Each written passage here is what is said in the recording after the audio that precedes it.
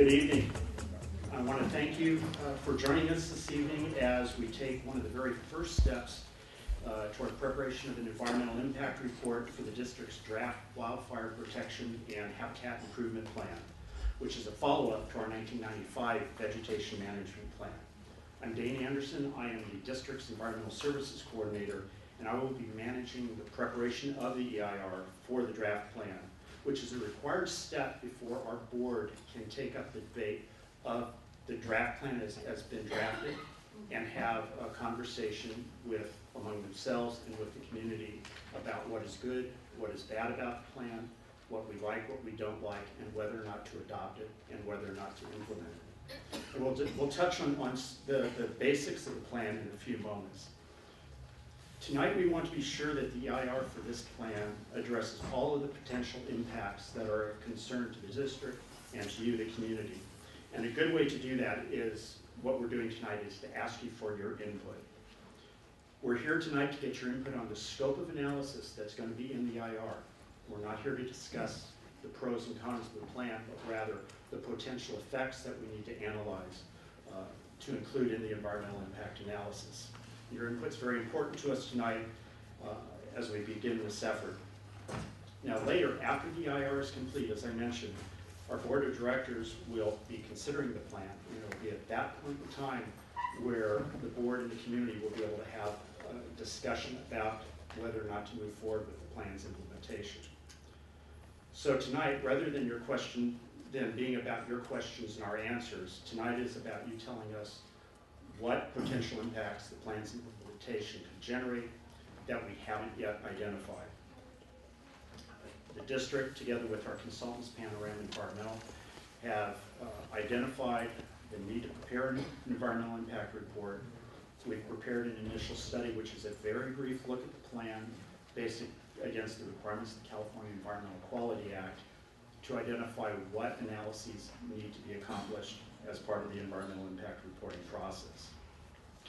The initial study, as I noted, was a quick examination of the potential impacts and from that, we developed a preliminary scope of analysis. Tonight and the entire 30-day notice of preparation scoping period is the opportunity for both agencies and the community to tell us what additional areas we need to beef up the analysis or actually add topical areas if that's appropriate. Hopefully you've all had a chance to review the draft plan. Uh, it's been available since, since August of this year uh, as well as the initial study, so you have a, a, good understanding of the analyses that are going to be done, at least as far as of tonight. Now, some of you may ask, what happened to the draft 2012 Vegetation Management Plan? It's still here, it's the same document. The name has been changed to better reflect the plan's purpose and intent, as well as to avoid confusion with the 1995 plan. The draft plan addresses fire hazard reduction and biodiversity protection on the 22,000 acres of watershed and reservoir lands that the district owns and manages. And our overreaching goal is protection of our water supply.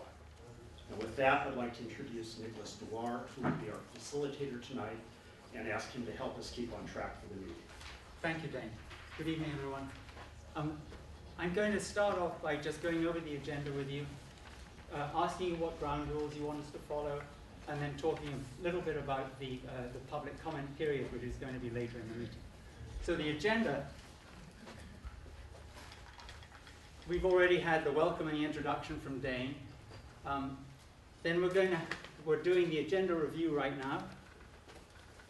We'll do the ground rules, but you can see that this will all be over with by um, about 10 past 7. We've got about five minutes to go. And then um, Tanya is going to give us a presentation about CEQA, the uh, WIPIP, the um, Wildfire Prevention and Habitat Improvement Program, and the whole concept of scoping, so we all know what we're doing here this evening. Then we're going into the public comment. So uh, by uh, 20, to, um, 20 to 8, we'll be turning our attention completely on you, and uh, I'll explain in more detail what, how that's going to work in a moment. Let's go to uh, the ground rules. Um, you'll need to record. So uh, I was lucky enough to facilitate a meeting with some of you in September And uh, those of you who were there at that meeting helped us to put together the rules that you would like me to help you to follow during this meeting. And that's where I want to go today. So, uh, you have much more experience with meetings of, uh, of this group than I have. Please tell me what rules you would like me to help you to follow. Any rule that you'd like me to help you to follow. Yes, sir. I'm sorry, I have a question. I'd like Mr. Cronin to comment on whether, since this was a noticed meeting, and the Brown Act requires a quorum of the board to be present, and no members of the board are present, whether this meeting is legal. And I'd appreciate Thank the you. acting general manager to say whether it's legal Would to you like to do that meeting too? or not. Would I like to do it? No, but I will. Uh, Yeah, I just spoke with one of our board members who is unable to make it right now, which makes, we have three, uh, four members now with David Behar, uh, just as of November 10th, resigning because he moved. Uh, We have one board member in New York. We have actually two board members on the way that are stuck in a traffic jam in the East Bay right now. So what I'll do as staff is we'll cancel uh, the actual board meeting. All we did is notice this board meeting so board members could attend. So we're not gonna have the board meeting per se officially, but we do have everybody here and we're ready to take your comments. We could have had this meeting anyway, to have your comments under this format. So because everybody took the time out, their precious time out to come here, let's continue and go that direction. Okay, and thank you for pointing that out, Mr. Rothman, I appreciate it. Thanks. So, um, now that we've sorted out the Brown Act question, how about the, uh, the ground rules that you'd like us to follow? Turn off phones. Turn off phones. Yes, that's already happening, so let's remember to do that. Yes, sir. Maybe we can just fight it out rather than speaking? If that's what you all wanted. Would anybody else like to just have a fight? I'm afraid you're on your own, so that one won't wash. Well, I'll take them on. Yes, sir. I think maybe we should try the opposite approach and try to be respectful. Of So you want to be everybody respectful, so and if- Try to open our, our minds so that we can understand, accept everybody else. So we've got two things there. The first is respect. Let's talk about what being respectful would look like, because it's a bit hard for me to know just off the bat what that would look like. What would respectful look like? Would you like to follow up with that, or would you like to, would somebody else like to tell me what being respectful would, would look I like? think one thing is to listen to people and let them finish their comments without interrupting. So don't interrupt when people are making their comment. Listen to them. And, um, and uh, you say, you said the other side of it was, was to be open-minded or something? I suppose there's no way we can enforce that, so maybe. Well, okay, that's not, but it's a good thought. So, um, listening, uh, when others are speaking, uh, what other, uh, what, what else would we put in to be respectful? Yes, ma'am? Not, not applauding. Not applauding, okay, so, uh, uh, not applauding, uh, the other, That creates tension. it could, well, you know, not applauding, then the other thing would be sort of no booing or hissing. Essentially, don't respond to the person who's, this is a really good point because, because a lot of, I mean, plenty of, there's a lot of disagreement about what's going to be discussed this evening.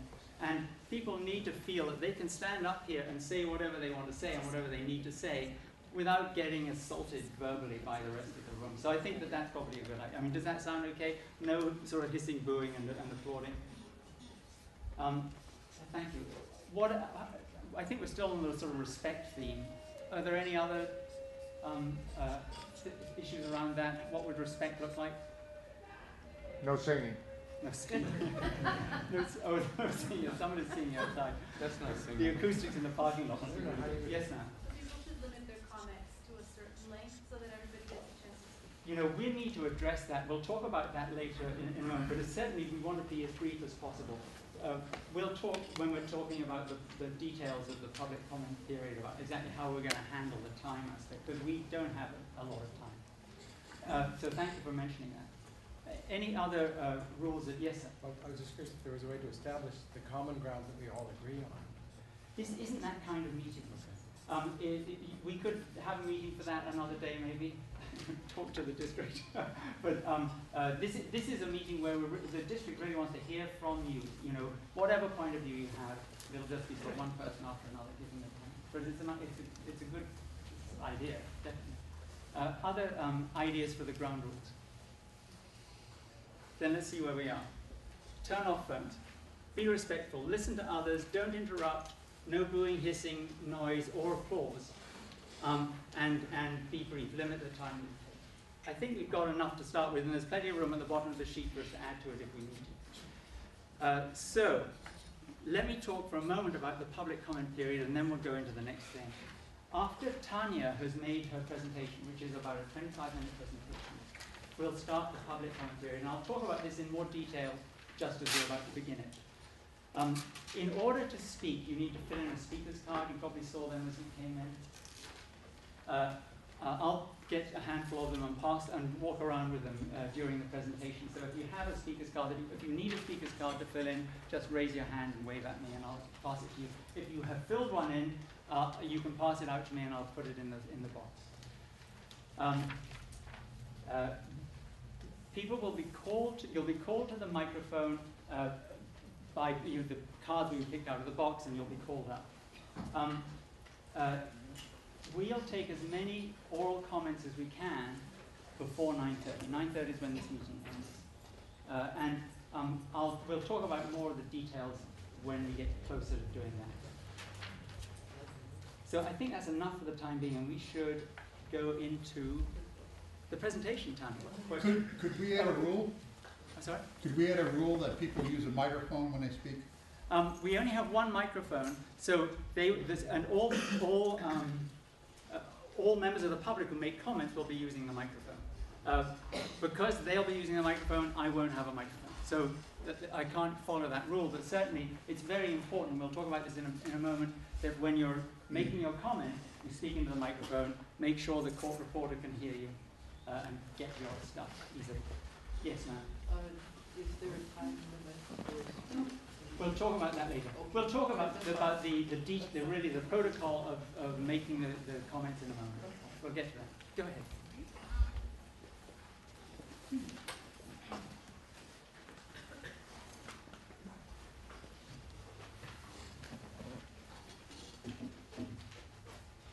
So, good evening. Uh, my name is Tanya Treis, and I am a principal uh, with Panorama Environmental, and I'm also the project manager for Panorama, uh, preparing the environmental impact report, the CEQA document, for the wildfire protection and habitat improvement plan, which we'll be calling the WIPIP through this presentation. So, as Dain has previously stated, uh, the purpose of this meeting and the focus of this meeting is really going to be on the CEQA document and the environmental effects of the WIPIP. And what I've done is put together a presentation here that's going to talk a little bit about CEQA and the EIR process, and I'm going to give a brief overview of the WIPIP.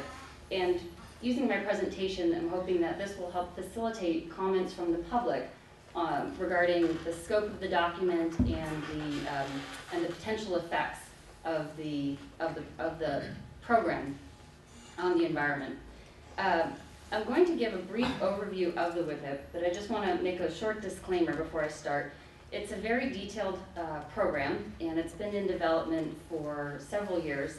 Um, and so I'm not going to get into as much detail on what it entails and all the activities and how the program works in this presentation. That information has been presented back in September, which was about a month after the draft was released, released. And the draft is also available on the website. So if you are interested in learning more about the activities, the program, how the program would be implemented, what are these approaches that I'll talk about in the program, um, I do encourage you, go to the website and take a closer look at the uh, WIPIP document. Um, and then another important note, again, this is a little bit of a repeat of what Dain had said initially, but um, this, this meeting is uh, a scoping meeting for the EIR. It's not meant to accept comments on the merits of the project. It's meant for receiving comments to shape the analysis of the EIR that we're undertaking right now.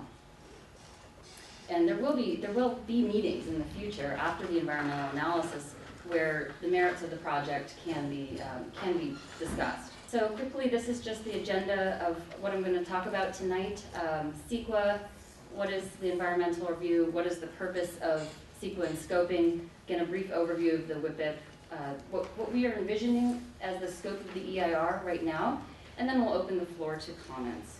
An overview of CEQA. Um, the district has prepared the draft WIPIP, and this is a draft. And uh, the approval of that document will be some point in the future. Before that document can be approved, um, it needs to be evaluated under the California Environmental Quality Act. Now, again, this is a a mandatory, necessary process because approval of the WIPIP is a discretionary action by a public agency. So this is why we're undertaking an EIR for this project. The, the goals of CEQA will be to look at the, look at the project, look at the program, and evaluate what are the environmental effects using scientific data, using technical analysis, and then identifying what are, what are mitigations that could reduce these effects were this project to be approved and implemented. So again, the EIR will become a disclosure document. It's a document for the public, and it, it will be written in such a way that the public can understand what these effects are and understand how they're going to be reduced um, where that's possible.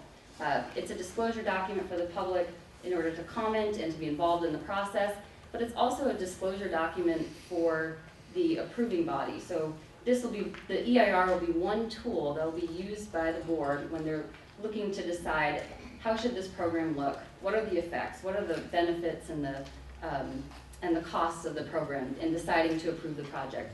The EIR is not an approval of the project. It's a tool that evaluates what the environmental effects are and informs the decision maker. So the key elements of the EIR, um, this is a typical content for a, for a CEQA document, will be an executive summary, a project description. We'll have a section that talks about the environmental impacts, and there's several categories. We have these up on the wall up here, and I'll talk a little bit more about that further in my presentation. Um, we'll address the impacts, and we'll look at cumulative impacts as well as direct impacts of the project. It'll define mitigation, which is ways to reduce effects where effects could be significant. And, uh, and we'll also look at alternatives as required by CEQA. So CEQA requires looking at what are other ways that this, the objectives can be met that would reduce environmental effects. And alternatives is a great area where, pub, where the public can provide input and comments um, on the project, as well as the thresholds of significance.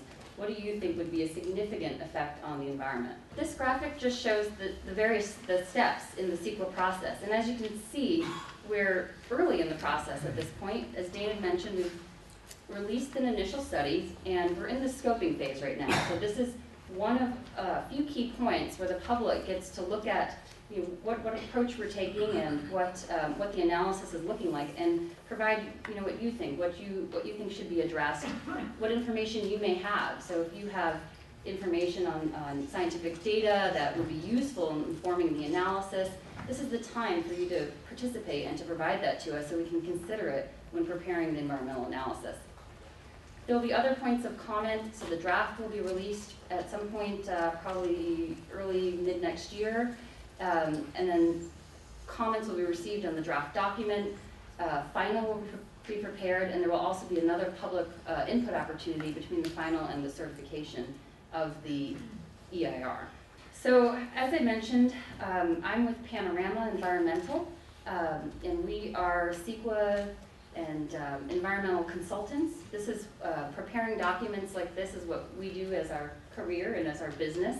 Um, and so our job is really focused on working with the district to prepare a technical document that's based in science, it's unbiased. We have a team of experts who will be looking at each of these um, criteria and impacts to the environment and presenting an analysis.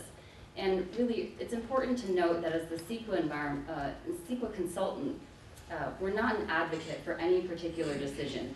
Our job is to present a scientific and thorough analysis of what the effects could be. I'm going to give a brief overview of the WIPIP. This is a document that we have not prepared. This was previously prepared. Many of you are familiar with it. Um, and the WIPIP was prepared by the district with the overarching goals and um, of their commitment to providing clean drinking water, safeguarding um, customers' health, homes, and the environment of the community. Just to give a very brief overview of the, of the WIPIP, um, it was released, the draft WIPIP was released in August of 2012 after several years of planning. There were several points of public input um, in this plan, and the draft is now available um, on the website and is what will be used for the basis of this environmental impact report. the objectives of the WIPIP are, as, as has been previously stated, the main objectives are to implement a plan that reduces fire hazards in the watershed and promotes um, and protects the biodiversity of the watershed. There are over 45,000 homes within two miles of the watershed, and this is an area of high fire risk, and we've seen in other parts of the state where fires can, um, can start and become out of control. So it's really important to implement um, some methods to try and reduce those risks. In terms of biodiversity, there's over 900 different plant species and 400 different animal species that call the watershed their home. And it's a biologically uh, sensitive area, so maintaining, um, maintaining vegetation and performing restoration plans are important in terms of promoting the biodiversity of the watershed. This is just a, um, a map, maybe a little hard to see, but it's, it's in the initial study, um, and you've probably seen this before. This is, these are the areas that the plan covers. So most of you are familiar with the Mount Tam watershed, but it also addresses district lands around Nicasio Reservoir and Soulajule Reservoir. So the, the WIPIP identifies 37 different activities that are all uh, focused on fire hazard reduction and biodiversity management. And the fire, ha- fire hazard reduction um, activities are focused mostly on the fuel break system. Much of the fuel break system has been constructed, but the plan identifies how to maintain that fuel break system and how to continue to, to build on that, on that fuel break system. And part of that includes um, vegetation management. In terms of biodiversity management, the plan identifies activities that should be undertaken to, um, by zone. And again, this, this gets fairly uh, detailed and it's, it's, more information is provided in the plan in terms of what the zones are, what the strategies are for each zone and how to manage, um, manage the vegetation and the habitat within those zones. Um, but again, the, the biodiversity management activities are really focused on weed management, preservation, restoration activities, and also, uh, to a degree, will address sudden oak death and other forest diseases. Um, these haven't been addressed extensively in the draft, but because of more recent information, we are looking at it in the EIR, and when the draft is, WIPIP is updated, it may include more information on how to treat sudden oak, death and other diseases. This is a graphic that just shows the zones. Uh, this is from the WIPIP. It's, um, again, it's, it's fairly detailed, but it just gives a, a sense of how the district is, how the watershed is divided into different zones, and each of those zones has different priorities and methods of, um, of management. So the, uh, these activities, um, most of these activities really do center around managing vegetation and uh, weed control. And the WIPIP has defined two different approaches to managing vegetation for both fire, uh, fire hazard reduction and for biodiversity management. And the first approach is a mechanical approach. So this is an approach that the EIR will address fully as, as a project or action, which does not include the use of conventional herbicides. So this approach looks at managing the vegetation using hand methods, mowing, pulling, uh, prescribed burning, um, organic herbicides, propane torching, um, goats are also included. It's, it's a toolbox full of ways to manage the vegetation without using herbicides. And then the WIPIP also defines, and the EIR will also describe the environmental effects of a second approach, which includes all of the mechanical methods as well as the use of, of limited use of conventional herbicides. And so we know the use of herbicides is one of the greater, uh, greatest concerns of the community. Um, and where the WIPIP describes the use of herbicides under the second approach, it defines how they would be used. And the idea is that they would be used in a very controlled manner that um, follows the guidelines and best management practices, methods to, to reduce the effects. And herbicides would initially be used to control, uh, to control weed infestations. And once, uh, once those are under control, the idea would be to, to move to more mechanical methods to reduce the amount of herbicides that are being used. And again, the plan goes into much more detail in terms of where, um, where herbicides would be used under this approach, under this scenario, uh, how they would be used, the seasons of when they would be used, the, the amount that can be used, um, and, you know, and other legal restrictions as well for, for the use of those herbicides. And an important note, the, the WIPIP does not include the use of Roundup. Um, however, it does include a, a herbicide with glyphosate, and that's Aquamaster. But I just wanted to make a clarification that it does not include use of Roundup. The WIPIP includes a toolbox of activities that can be used, again, to meet the objectives of fire hazard reduction and biodiversity preservation. And, uh, and includes several different activities, thirty-seven different activities. It wouldn't be possible to implement all of these activities, uh, given the budget and the constraints. So therefore, the actual implementation of the plan is constrained by the, the budget and the amount of work that can be done for the, for, uh, for what's available in terms of funding. So the implementation of the WIPIP varies depending on whether approach one is used or approach two is, is uh, implemented. And the activities are prioritized. Again, the prioritization is based on protecting people, protecting the habitat in the, in the watershed. The scope of the EIR, um, again, will entail a description of the, of the project, which is the WIPIP, and it will look at both of these approaches. And we're gonna look at the environmental, the environmental analysis is gonna equally look at what are the effects of approach one with no herbicides? Uh, and what are the environmental effects of approach two, all the methods of approach one plus herbicides? So there will be a comparison in this document, it'll be directly addressed of what are the effects of both of these approaches. Again, to inform the decision maker, to inform the community, and to really give a clear comparison of what these programs look like if you use herbicides or if you don't. Uh, The EIR will address alternatives. Again, as I mentioned, this is a, a good area for public comment. What else can be done to achieve the objectives, but, um, and also reduce uh, environmental effects? As Dain had mentioned, we prepared an initial study, and again, it's a very high-level document that dials out uh, some of the areas where we know there won't be effects, um, such as mineral resources or uh, population and housing. Um, and what it does is it focuses the analysis of the EIR on the areas where there will be effect. It allows us to create a document that's really focused on what are the concerns of this project and really specify what are the significance criteria, what would be considered a significant effect. These slides are um, just a summary table, and this is, this is a table that was a handout uh, at the front desk that summarizes what are the resource areas and what are the impacts and topics to be analyzed. So this, this doesn't give the significant effects, but it, it gives you a, an, an idea of where we're going with what we think could be significant effects, what will be studied, and what will be discussed in the EIR.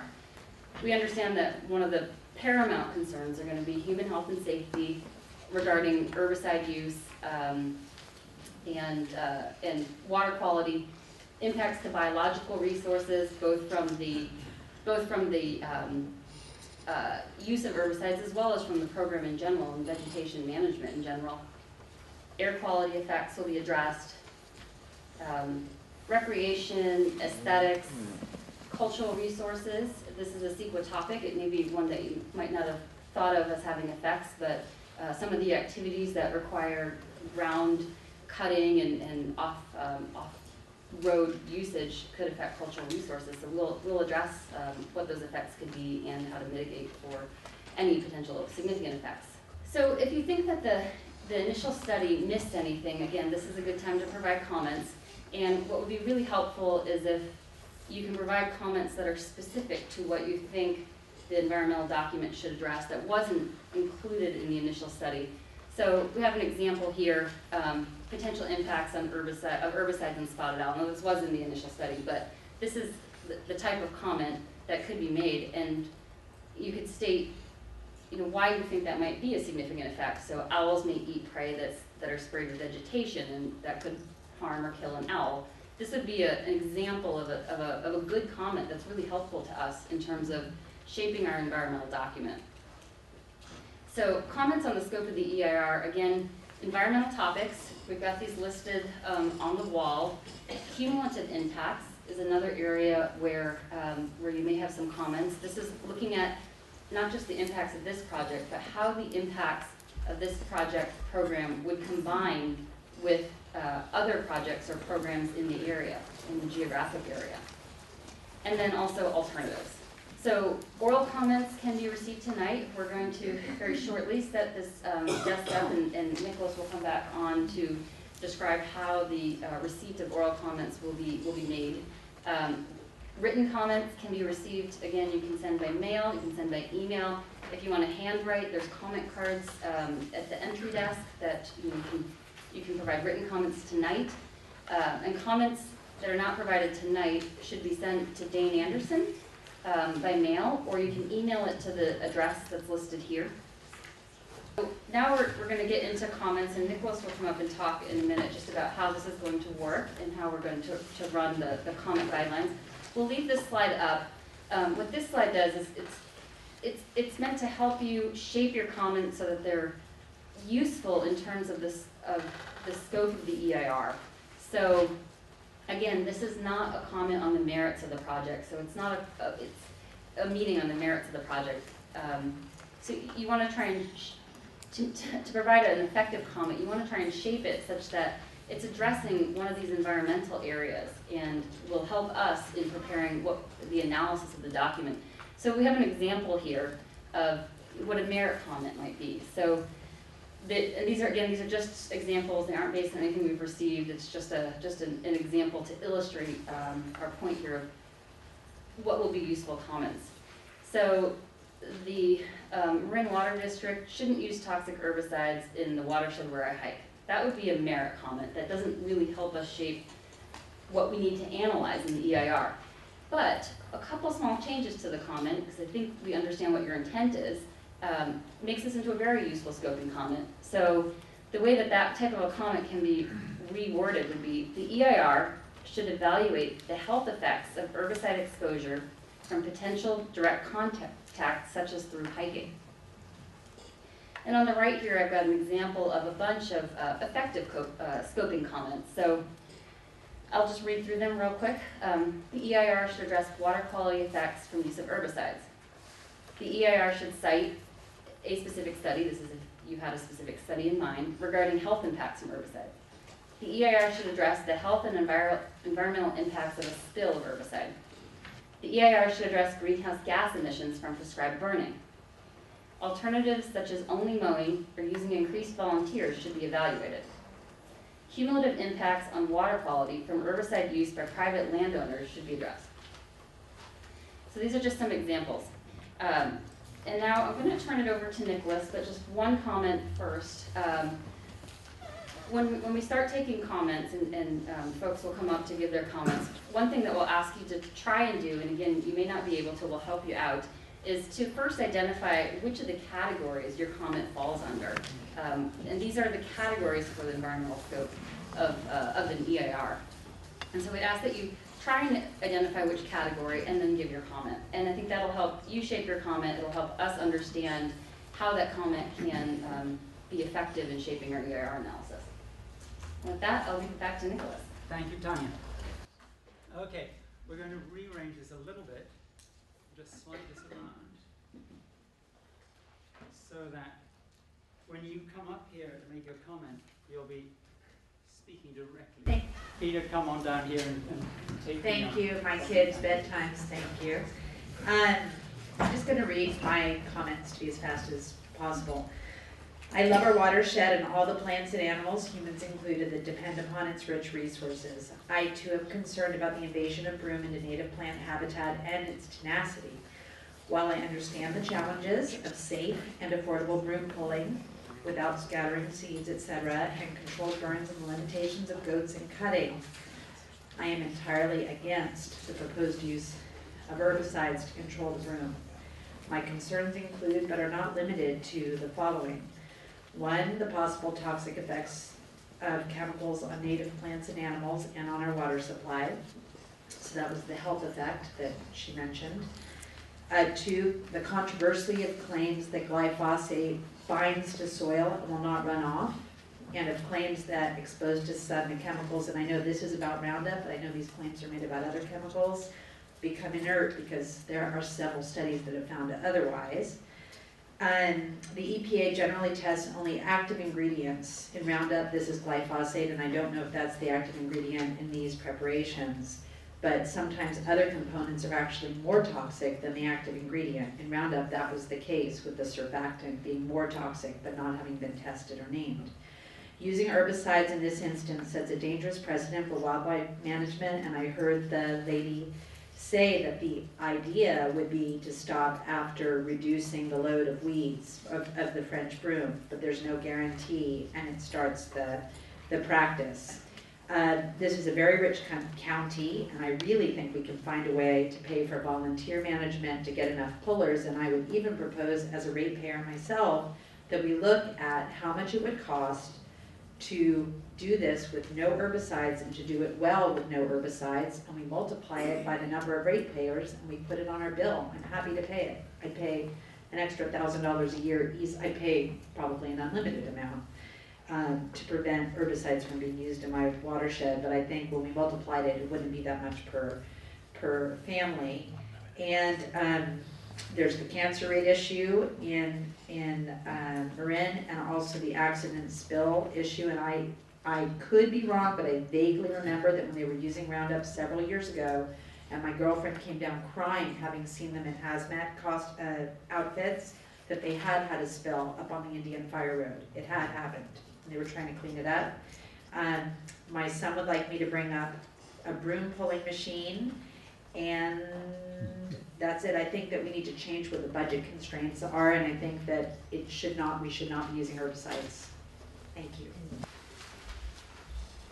Hi, I'm Debbie Friedman. I'm the co-chair of Moms Advocating Sustainability, or MOMAS. And um, we, our goal as an organization is to see zero herbicides used around our watershed. We think that as a society, it's time for a shift in the way that we approach the use of chemicals. Um, And I had a lot prepared, but I will shorten it and go right to our specific requests. Um, The first one is that we would like to see human health and um, the protection of water quality as a specific goal. Right now, the goals address wildfire, preserving and enhancing biological resources, restoring degraded habitats, and the ability to revise and review management decisions. And we request that the plan explicitly include a goal that um, protecting human health, especially as it pertains to maintaining water quality for the residents of Marin County, is of the highest priority and that this goal be part of the analysis in the plan. Um, we also request that the plan create a six hundred foot buffer zone around all the water in the watershed. The current buffer zone is hundred feet around the water, and we'd like to see it, um, at six hundred feet.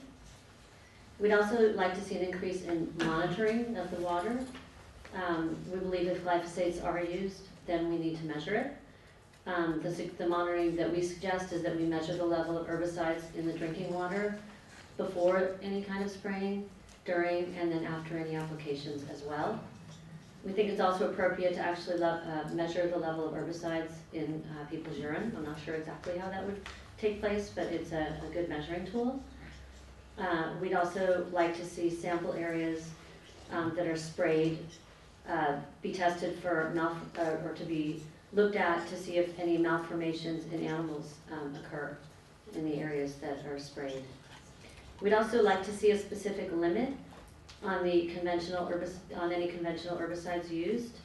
Uh, we'd like to see zero, of course, but if it's not possible, then we believe that um, the allowed uh, herbicide should only be Aquamaster, there should be uh, no other herbicide allowed, and then when necessary, competitor and because there was a list of allowed herbicides, and uh, we think there's too many on there. Um, And we'd also like to see a four-year eradication plan and limit the amount of herbicides used per plot of land during that four-year eradication plan.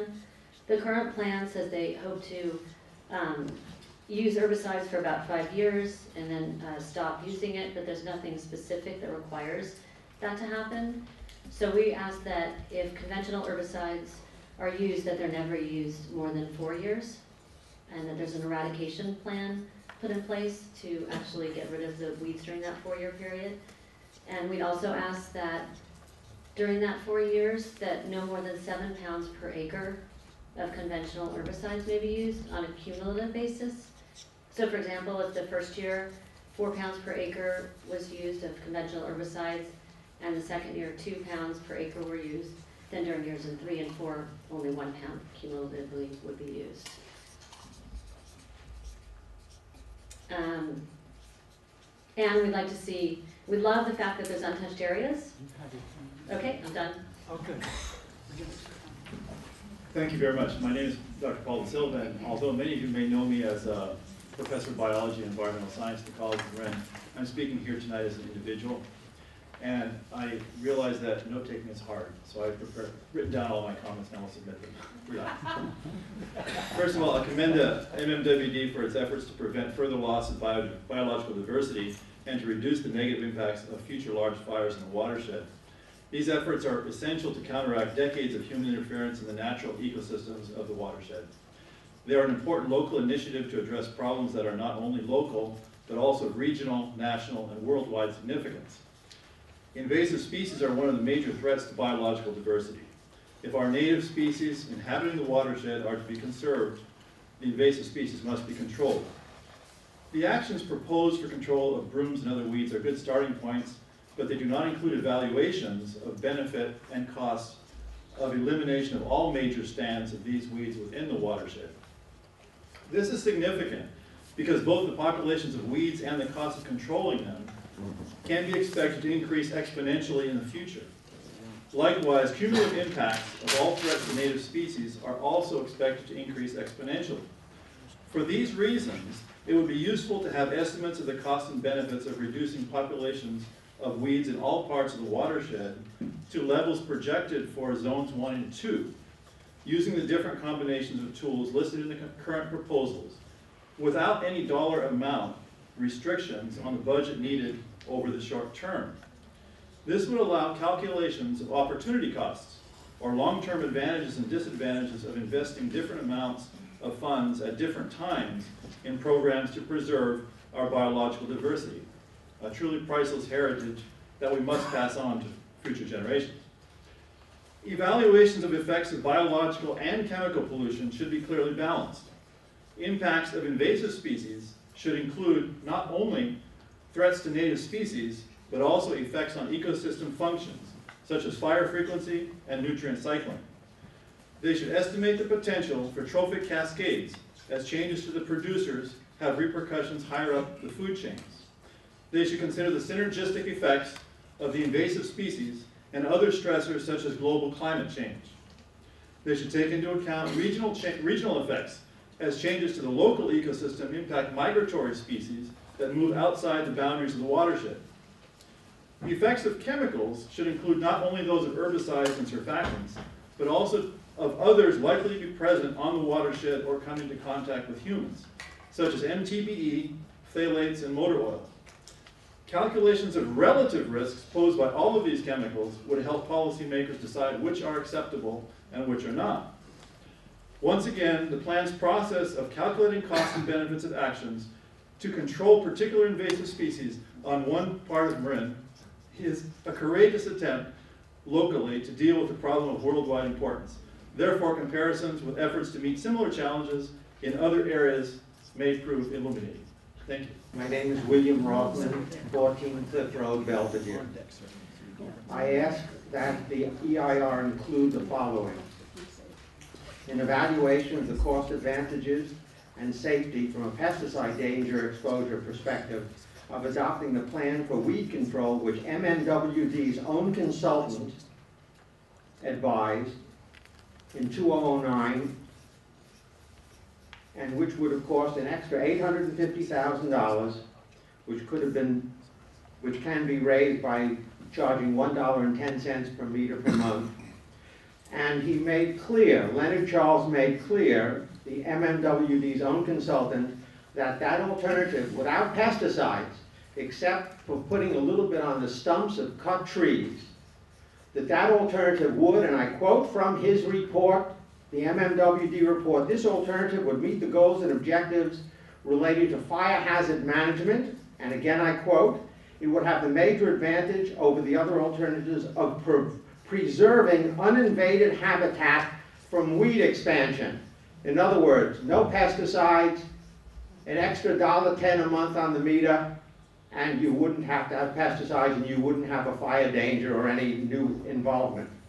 Number two, an explanation, the ER should include an explanation of why the, the consultants do not feel that they cannot come to a conclusion about the safety of the pesticides because the EPA right now is doing a study on the endocrine disruptor effects and those results will not be available until 2022. And yet the report has to be, will be nine years before that, so how can they possibly evaluate the safety? Furthermore, I feel that you, the EIR must call for the employing of the services of a medical toxicologist to evaluate all medical toxicology research findings. The consultant who's mentioned in the RFP, Susan Kegley, has made it clear that she's completely unqualified to deal with medical toxicology. She made it clear by arranging for a medical toxicologist to handle that aspect when she was last asked to consult for the water district. Finally, and there are other aspects, but I'll submit it in writing, evaluation of the significance for the possible spread of West Nile virus of the results of several studies between 2005 and 2001, 2012 by Dr. Rick Relyea of the University of Pittsburgh concerning glyphosate's harm to amphibians, which could lead to an outbreak of West Nile virus in Marin because amphibians would be killed. It's recognized that they kill tadpoles, etc., glyphosate kills them, and so they would no longer be available to eat the mosquito larvae. I'll, I'll stop here, and I'll submit the other things in writing. Thank you very much. I don't have any prepared statement to make, but I just would like to comment on the fact that, and I would like to see this incorporated into the EIR, uh, that I'm a part of the California Native Plant Society, as is Paul De Silva, and we have been commenting for many years to MMWD about the huge uh, expansion of broom. Over the years, it has been shocking. And it is a tremendous threat to our communities. And I think that we cannot say that we can go out there and hand pick broom and think that we have any likelihood of success. We have tried that for many years. and It has been unsuccessful. This mountain is being overwhelmed by broom. And I think we have to face a very difficult choice. So I do hope that in the EIS, they will look at the condition on the mountain 10 years ago, 20 years ago, uh, before the, uh, the, the uh, cuts were made along the fire road and so on to try to cut down the, uh, the uh, fire danger. It has increased the broom hugely, so thank you. Thank you very much. You know, there's one thing that we said we were going to do, which we haven't been doing, and that is categorizing the, the, the comments that, that, that people are making. Is there a, a category that you would, um, Biology. biology? I'm David Curtis. Um, I'm, I haven't read the report yet, so I, I can't make specific comments. But um, I'll just say my predisposition is uh, if we can look at any mechanical means to uh, continue to attack it. And there's a huge unemployment problem in the country right now, so um, there's a lot of folks that would be willing to do the work. Uh, my family uh, intentionally doesn't buy any of these chemical products. Uh, we don't want any of any, any of the uh, toxicity. Uh, we don't want to add to it. I'm kind of shocked that it's still an option, and, and if we could scrub it from the scope, I'd be uh, really happy. Um, and just I want to underscore my predisposition is uh, let's throw bodies at it and not uh, not toxic chemicals. Um, Excuse me, I'm Ginger Souders Mason, uh, Chairman, uh, Director of the Pesticide Free Zone. Um, Under the uh, EIR, I would like to see under cultural resources, and echo the previous uh, speaker, having to do with full employment and to utilize people who are not presently employed to uh, do the removal. And also to use uh, cultured goats, ones that are uh, more behaved and will be uh, eating on the uh, uh, trees. Um, But if you get a really good goat keeper, they do take care of their goats and they keep them surrounded in the right area. And to remove the seed possibility using chickens or some other kind of seed-eating animal. But there are alternatives in that respect um, that might be utilized. Also, um, under soils and uh, geology, I'd like to see the scoping um, of the, any pesticide or any chemical that would be proposed for use, uh, to be used, uh, the full formulation, not the active ingredient, to be uh, to be tested and to make sure, uh, to see what the migration rate and the, um, solubilities and the uh, movement of those chemicals would be through the soil in a time-related period, having to do also with um, heat and sun and uh, climate conditions at the time. Uh, My organization is definitely, uh, definitely against any kind of chemical applications um, and under human health hazards, looking at the lo- uh, lowest possible um, combination of contamination of the water supply and how it would affect uh, human health. Um, That, I think, definitely needs to be a part of the uh, scoping under human health hazards. Thank you. Hello, I have no prepared remarks, pardon me, but I, some issues do occur to me in this process.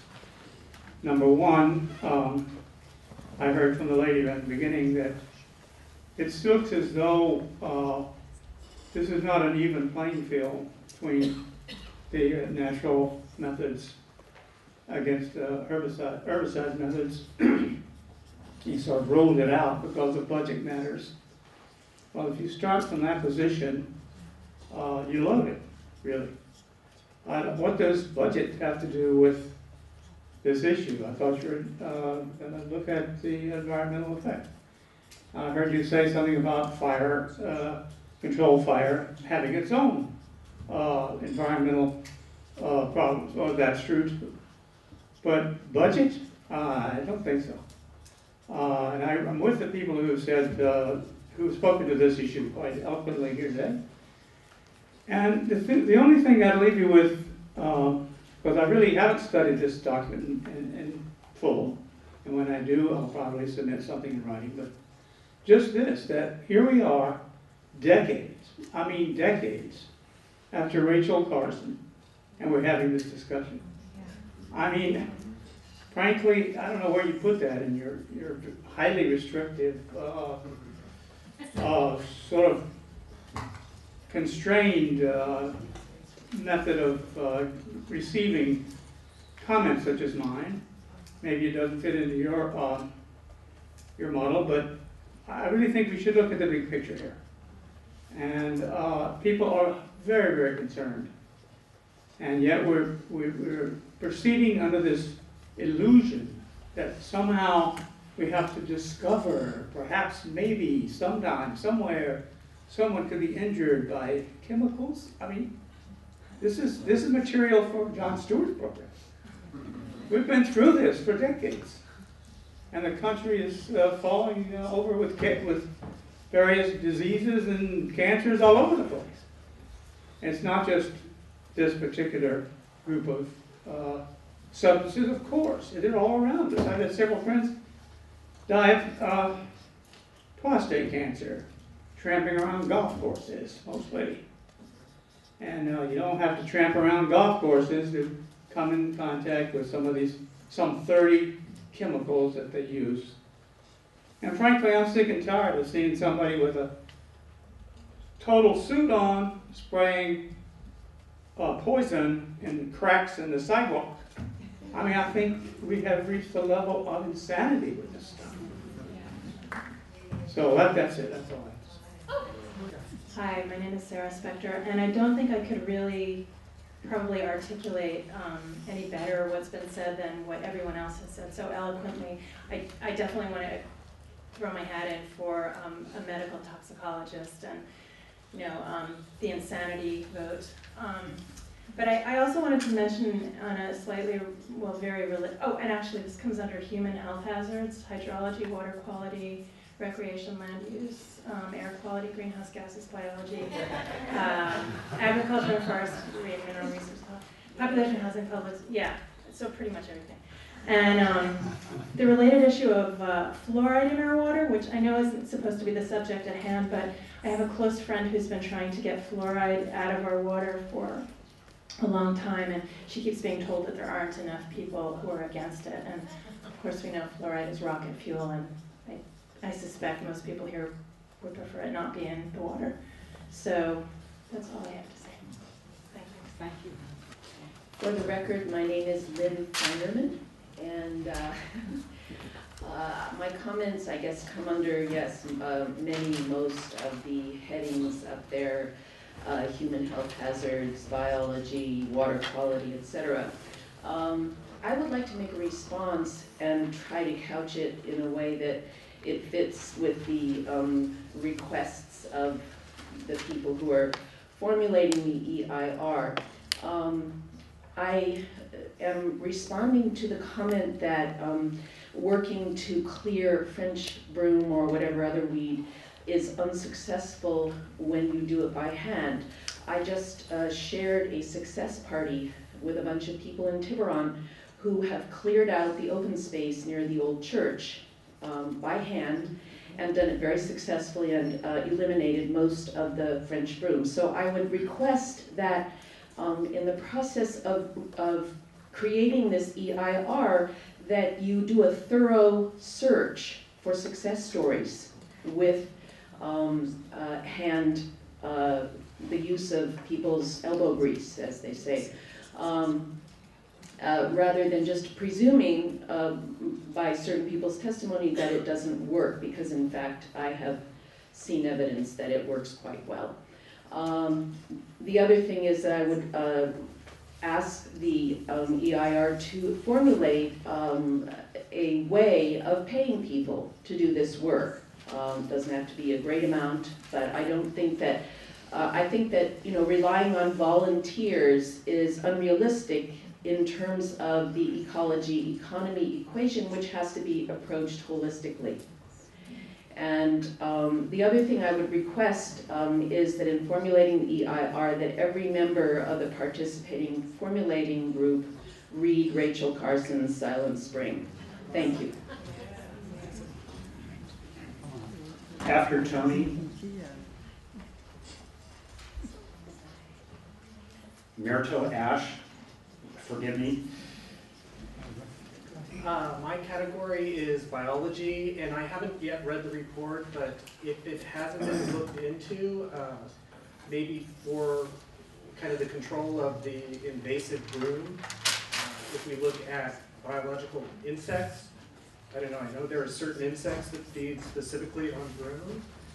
And in looking at that, then also uh, kind of evaluate how the use of chemicals would then interfere and be counterproductive with that. That's it. Hi, um, I'm Myrto Ashe, I'm a family doctor here in Marin. I'm also on the advisory board for MOMAS, Moms Advocating Sustainability. Um, and I'm here to talk a little bit about, um, some of the trade-offs. I think we're trading off, um, concerns, human health hazards, which fires are, of course, but also glyphosate is, as it turns out. And also, um, quality of life, and again, it's the same trade-off between, um, the recreation and, and um, getting sick from the glyphosate. So glyphosate is quite toxic. One of the important things to realize is that um, the regulatory agencies have failed to protect us. It's very clear from the literature, and there's actually a study from just this past week um, that was published, and that shows exactly how some of the European regulatory agencies just um, systematically misinterpret what is in the studies that have already been done. So I don't know about the one that's being done for, in, in, you know, in 2022, but to me, the, the data is in. Um, so the first thing to understand is these pesticides are endocrine, dis endocrine disruptors, and that unfortunately this means they don't play by the rules of what we have known in the past to be toxic. So there is no, in fact, lower limit that's safe, and that makes it really hard to argue um, about is it okay to add more? Um, do we have to eliminate all of it? I mean, these are all things that we might want to think about. But Still, um, glyphosate disrupts the same biochemical pathway that's disrupted by the drug Accutane. And that's a critical pathway used by vitamin A, and the consequences of disrupting it are birth malformations. Um, Accutane users have a 30% rate of craniofacial, cardiovascular, thymic, and central nervous system malformations. Um, so I'm concerned that some of the cases that we see, we don't even know what the cause is, but in fact could be related to the fact that the glyphosate is out there uh, in as Roundup, but also as many other generic um, pesticides, uh, glyphosate. Um, there, um, the use of, is, you know, I've read some of the report, um, and it really did strike me that it seemed like a possibility that, in fact, some of it was going to be used. And so I started thinking about what would be a way to make this a win-win. And um, what I'm realizing is, for example, it's a graphic example at my house in San Rafael, they're spraying the median with hazmat suits and someone who has a backpack. I didn't even find out what he was spraying. And then a block away, behind my house, which is right next to open space, there are people that are removing the broom by hand. So I don't want any glyphosate, and I want as little as possible. And if there was a way to get um, the water district to be involved in reducing the use of glyphosate, for example, by putting a warning in people's water bills so that people would know not to buy the stuff at the store, not to use it, we would be way ahead, I bet, compared to the amount of glyphosate that might be used by the water district on the broom. So that's one thought, that one possibility I thought would be a, a win-win for both of us.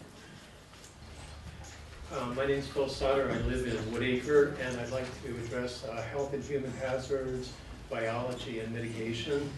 Um, I'd also like to provide some information from a study that the uh, Point Reyes National Seashore uh, Park Service just performed, where they looked at uh, mechanical control burn and chemical treatment of broom. It's very informative, particularly with the protocols that they used on uh, chemical treatment uh, and the testing that they did to make sure that the water bodies remain um, completely uh, absent of glyphosate. Uh, Second, I think that the EIR should discuss uh, particularly vectors of infestation. How does broom get transmitted? I don't think MMWD exists as a alone. You share a lot of border with private residences. You also share miles of border with Marin County open space. And to look at the water district in isolation, I think is is uh, inappropriate. Um, I worked with uh, Roger Buckholz to clear out a tank site on Upper Conifer, and it was clear that there was uh, Scotch broom within that tank site, but not outside the fenced area except for one plant. Uh, the Park Service hypothesizes that seeds come in on their tire treads of their own trucks, so I think that the Water District should look at how things are getting transmitted into the Water District and how they transmit to other surrounding areas. Uh, Next, I think that the objective of the EIR should have an end result of not only eradicated invasives, but leaving behind a healthy, sustainable uh, body of native species. I think there should be replanting of natives because if you clear out the invasives and don't put anything else in there, more invasives are likely to come in. Um, Second, or third, I think that the EIR should have quantitative and objective information. I don't think it's a good idea to say something was rejected because it's too expensive.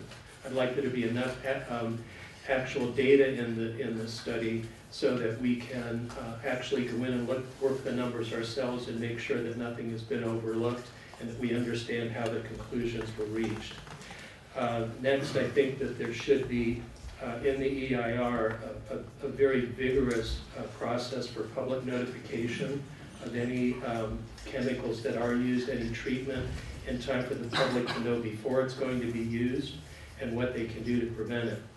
Uh, and finally, I want to uh, uh, I want to echo the, the, the, folks who have said that it should not be budget driven. We should look at what's the best way to rid the water district of invasives and sustain and, and bring in um, sustainable um, uh, uh, native species and look at budget driven as, as kind of a paragraph at the end to figure out what's the best thing to do in terms of solving the problem. Thank you. I'm Cindy Bradley, and um, by profession, I am a birth doula, which means that I support women during childbirth.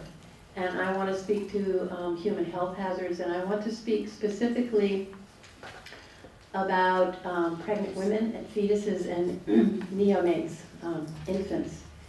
Um, These chemicals are poisons, and while they affect all of us um, and affect our endocrine systems, um, the fetuses and neonates are particularly vulnerable. There is no safe level for putting these kinds of chemicals and poisons into our systems. This shouldn't even be on the table. We need to be protecting ourselves and we need to be protecting our babies. Um, it seems to me that what we've heard already in this room is testimony from a lot of people in the medical field who have the information that you need of the studies that will show you that we shouldn't be doing this. Um, we know this from Rachel Carson, but we also have experts within our community who can help you. So reach out to these experts.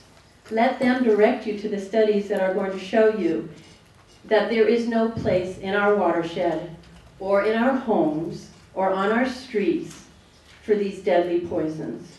Thank you. Hi, my name's Jack Barry, and I'm here basically for mitigation. Uh, I've heard a lot of uh, good things about everything. Everything's great. The thing is, uh, the water district has actually been doing a lot of work, hand pulling and what have you, but it hasn't been working. I grew up in Wood Lane in Fairfax, and I've seen what happened. My backyard is completely full of broom now because of spillover from Marin Municipal Water District land.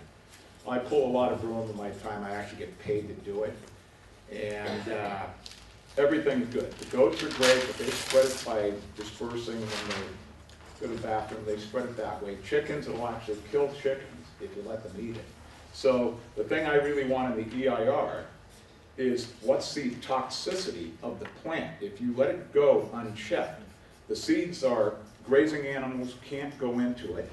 Even if I'm around this stuff, I have to put on gloves because if I'm pulling it for a certain amount of time, I can actually feel, I feel a little bit different. So as far as, this would be like being a firefighter and not being used, being able to use all your tools. I think if you limit this thing to not using herbicides, you'll never get a handle on it. And you know, I'm not a big advocate, advocate on toxicities or anything like that, but the thing is, everybody's overlooking what this plant is doing to, to the native habitat, the animals, quails. You see a lot of quails out in the wilderness these days, in areas where there's burn? It's killing them.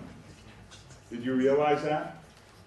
And here, we can come in here and reinvent the wheel again, but why don't you go to, there's this, uh, right here, California Invasive Plant Council. Look it up on the internet. They've gone through case studies and case studies of all this stuff, and you can use herbicides. I use it very well. We cut our plant, we hit it with a dye, that's a herbicide, and hardly any contact at all with this stuff. Then we're out of there. We've been managing 120 acres, had five acres of broom on it. There's not one broom plant now six inches tall on that property. With minimal amount of damage, pulling the stuff, you're eroding. What happens is even, okay, I don't know if everybody knows about French broom, but trying to get this stuff in check, it's gonna be tough. These seeds can last 30 years, okay, in the soil. The thing is, when you go pull it, what happens is it disturbs that seed bank. After you cut, pull, what have you, you disturb the seed bank, 40% of the seeds come around, and everybody knows how many seeds come out of this stuff, right? Between seven to 15,000 seeds per plant. So what's happening now is, when you're pulling this stuff, it actually spreads the seeds, it germinates them, so you're gonna have 40% the first year, 25% germination the second year. Then after that, you can probably start pulling it by hand, but just to, what's that? Your time's Okay, I'm sorry. Thank you. Uh, I would like one of the scoping, I would like one of the Yes, scoping comments to be uh, the climate, because we have microclimates, and I've noticed that things should be done in dry season. And the dry season is very seasonable, and it varies within a day. And we have lots of uh, variations. We have fog, we have sun, we have drizzle. So I think there should be uh, an analysis of the, the seasons and the impact of variation. I think that we should, uh, realize that there is something in terms of aesthetic, uh, visual, using burn, large burn areas has an aesthetic uh, disadvantage. And it was a Native American way to proceed, but we now have uh, human impacts. So that uh, is a consideration when you're talking about burn. And another thing, burns don't always work. Several times burn have uh, accelerated fires. In uh, the southern Marin area now, it's the very highest, where I live, the very highest risk for fire. And I noticed that one of the recommendations of the MMWD is just to use inundation uh, or re- removal of hazard for, for fire. But um, the cutting and the bringing in of equipment spreads. There have been studies, uh, for example, the, um, oh, in Delaware County, they found that the use of equipment has to be done in dry weather, which we don't always have, because uh, it carries the uh, problem of, of seeds.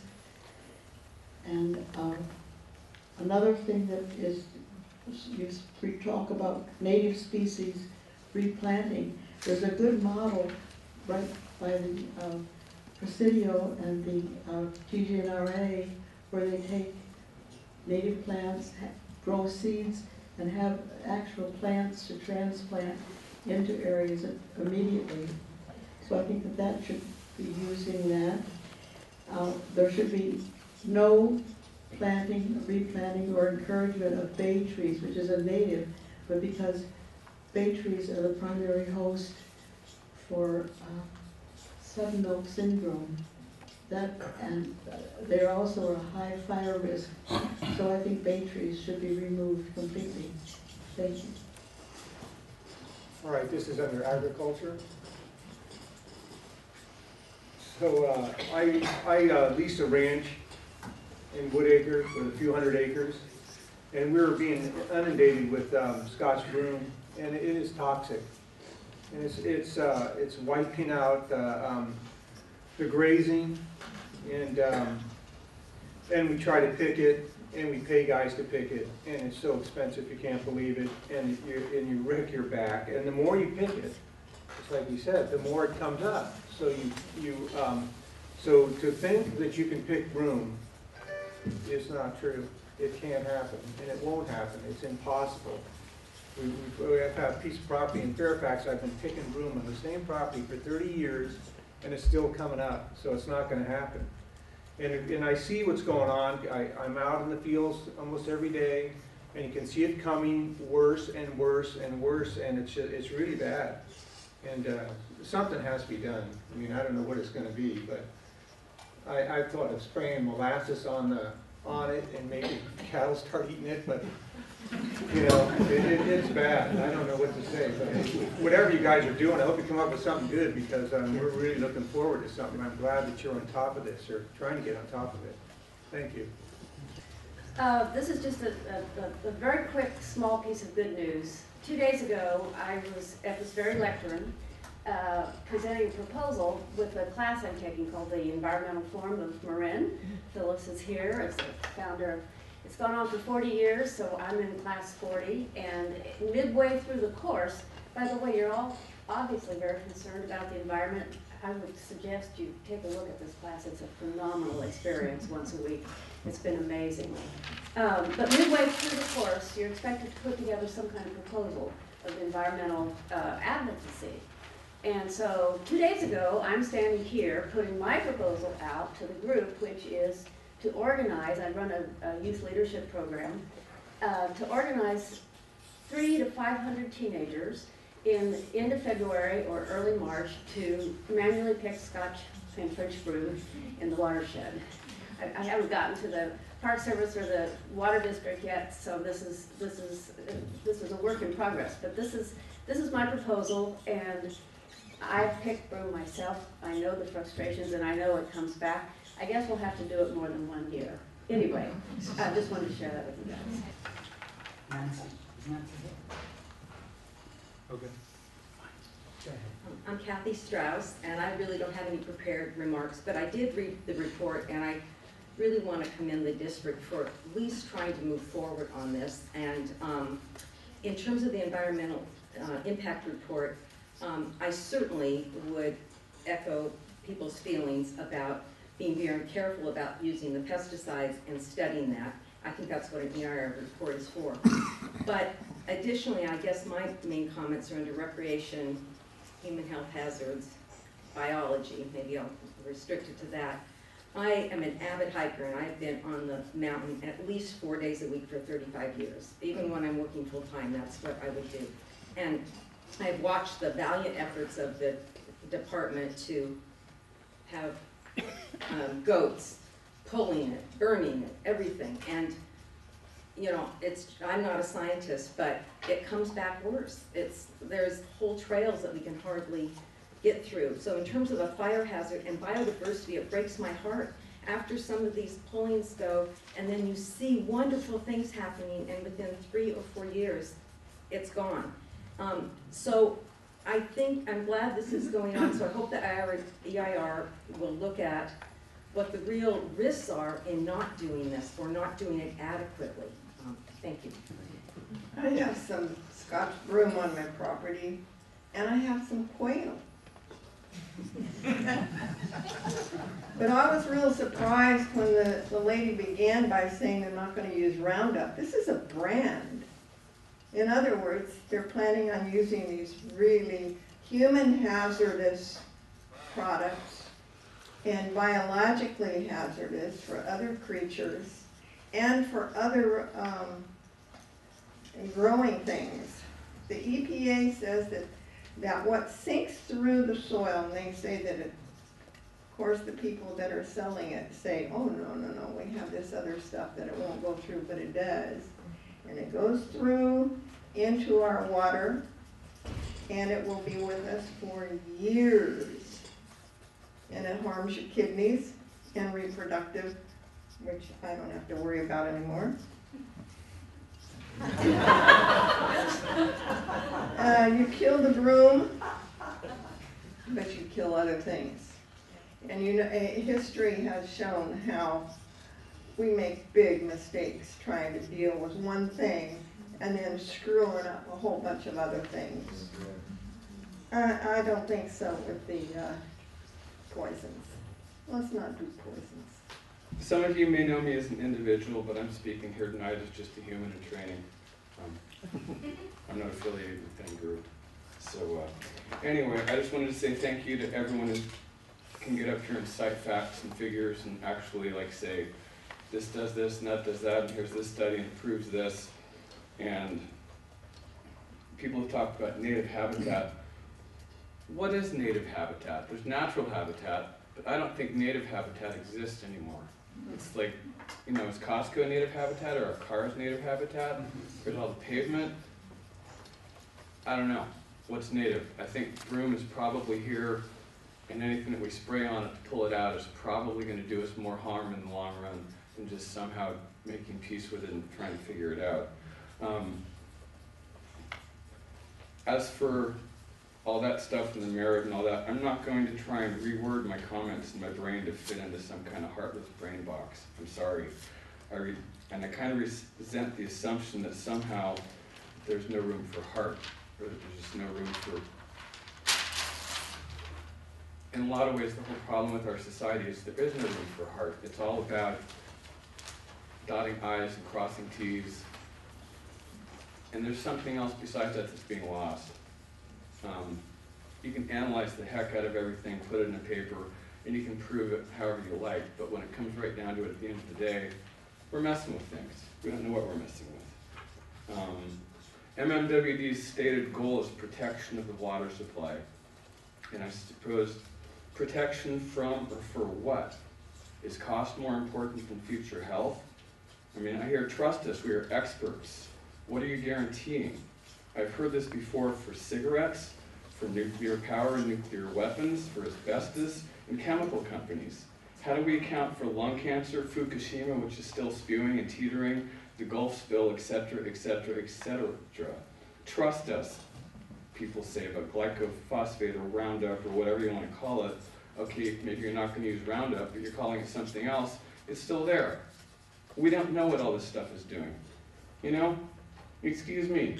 History and events have proven that we can't contain this stuff. We don't know what we're doing.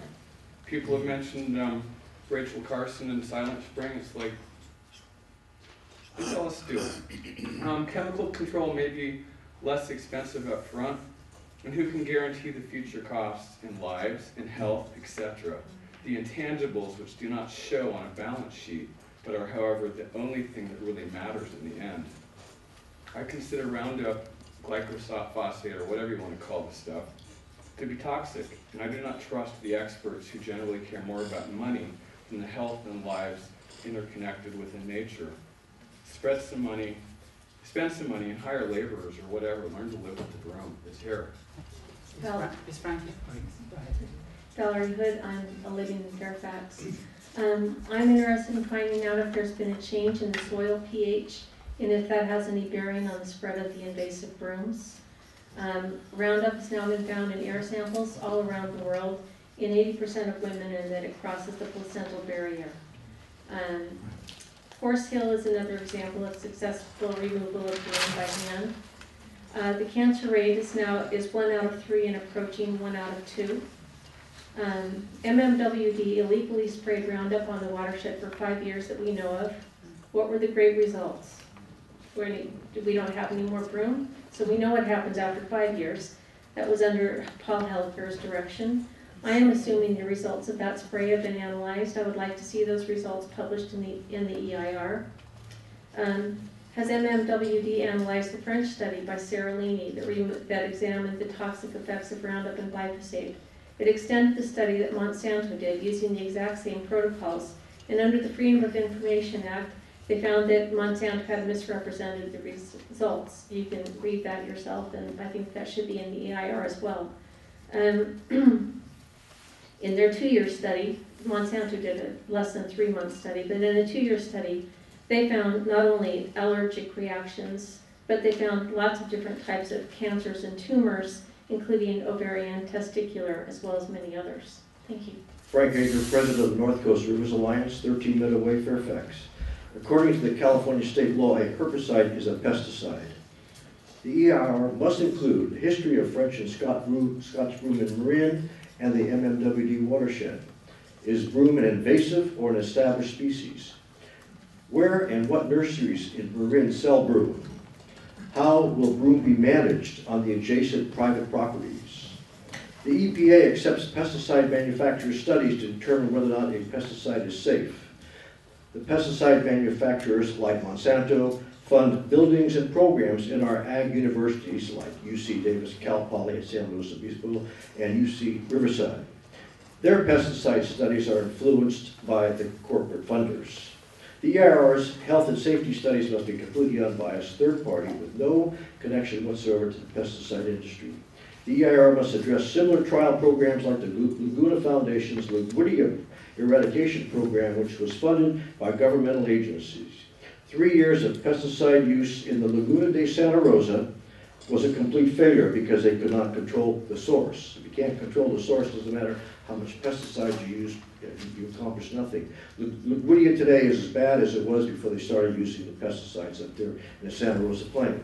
The ER must include a study of French of each proposed pesticide's impact on the individual species, including the fish, amphibians, birds, and mammals. The EIR must address the impacts of each pesticide proposed on people of all ages, including infants and the elderly. Re- Report on what other water, we need a report on what other water agencies use pesticides in their watershed. The district's public relations consultant has respun the title to include wildfire protection. We should not have to choose between fire or poison. This new title means the ER must now include a full study of the fire protection available to MMWD and response times. to the various zones, including engine types, either type one or three, where they are stationed, miles and drive times. The EIR must include the role of Mount Tam Fire Lookout, time of, of a smoke spot to dispatch to arrival of the first engine. It must also include, excuse me, dispatch process to order air tankers and a flight time from Airco Base at Sonoma County Airport to Mount Tam. The EIR must address the new CAL FIRE fire fee on unincorporated properties, as those fees can only be used for prevention. Hand mechanical, hand and mechanical pulling of a broom fits that criteria. Thank you very much. Hello, uh, yeah, I'm Conrad Williams. I, I don't have prepared things, but I, I did look up on the, the internet about using goats. And I found some very interesting things. Uh, They said that they eat the green things and uh, they can consume about seven to nine pounds of green per goat. And, and they leave the stems completely done, which means the plants can't go on.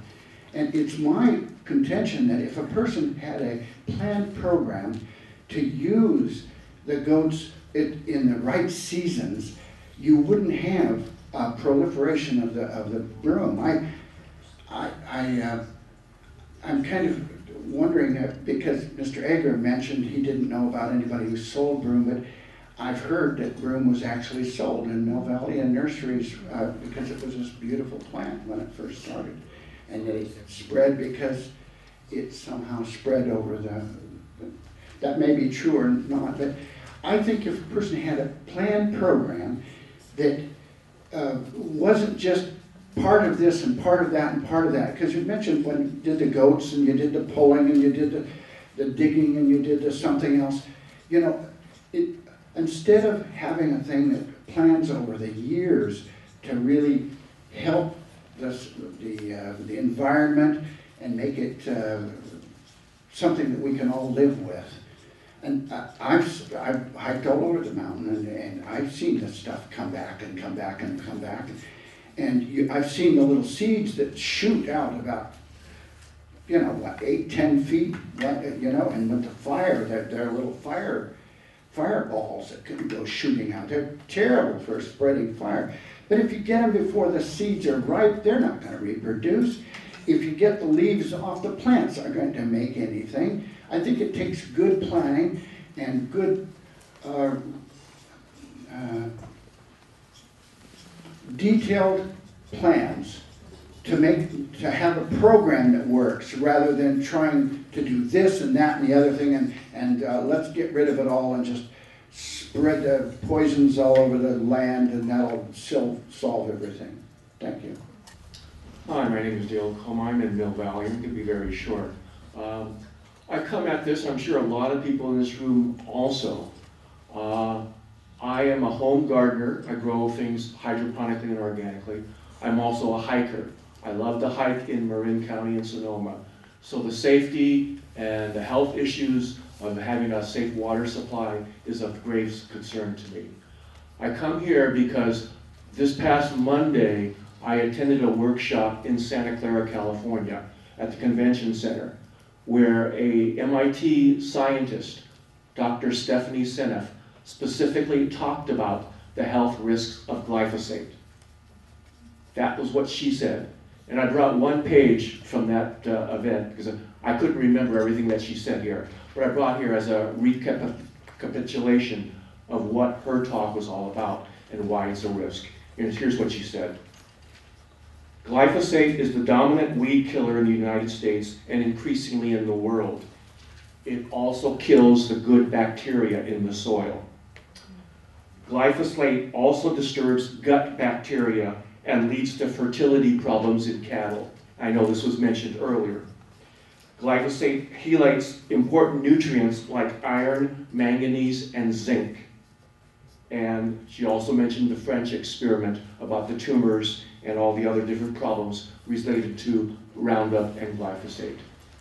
For any additional information, if you want to know the dangers of glyphosate, I recommend that you see a couple of movies that are available online. One is Seeds of Freedom, which you can go to seedsoffreedom.info, or Genetic Roulette, geneticroulette.com, or you can find it on uh, YouTube. Thank you very much. before you go, would you, do you know how to spell the name of the? Sure. that you mentioned? Dr. Seneff, her last name is spelled S-E-N-E-F-F, and she's with MIT. My name is Robert Ernst. I live in, uh, on Sherrard Lane in Sun Valley. Um, I was born in a small farm in Iowa and uh, saw early pesticide use and uh, prior gentleman's statement about uh, destroying topsoil is a good one and true. I think uh, it's been a tremendous education for me here to hear about the specifics uh, uh, of the situation and I think uh, you might be well advised to put a round ta- table together with some of these folks here, both pro and con, those of you who struggled with the situation, and, um, and to come, uh, to come to a find another conclusion. I don't think, uh, uh, I just don't think pesticides are the answer. I saw a uh, commercial from an early TV series the other night, uh, Jack Webb, uh, and he was smoking a Chesterfield cigarette during the commercial, and he said, I'm happy to announce without a doubt that we just had an independent study done by the Surgeon General, and uh, Chesterfield is the first tobacco company to say there's absolutely no internal harm with this cigarette right here. And Chesterfield's the first one to do it.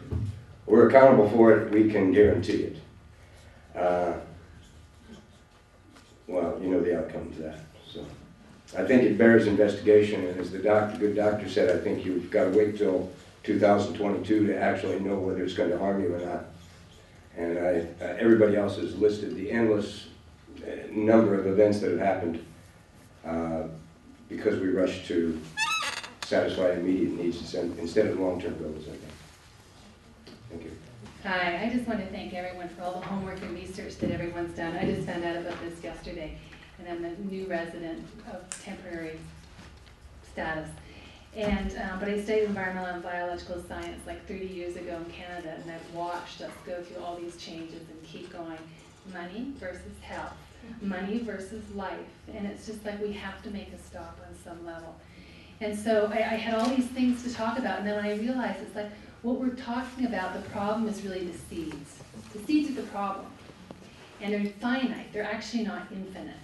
So if you can stop, like the gentleman was saying earlier, if you can actually stop the seed production, which you can do through cutting manually, all the money that's being spent on the, the company, you know, tens of thousands of dollars could be used in that, has to be cut.